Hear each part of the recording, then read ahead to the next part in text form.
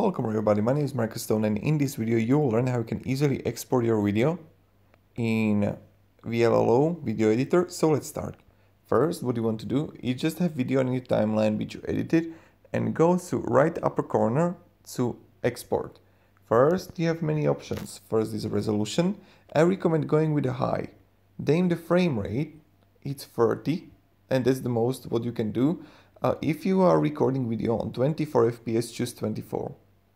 And we don't need to alarm. Ad removal is 2 euro if you want to remove the ad. And now export it. Okay, X. And right now it's exporting.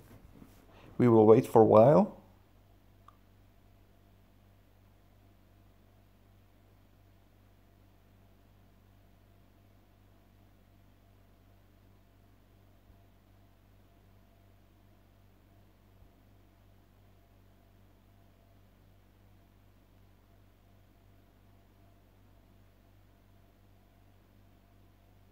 Okay, we have it.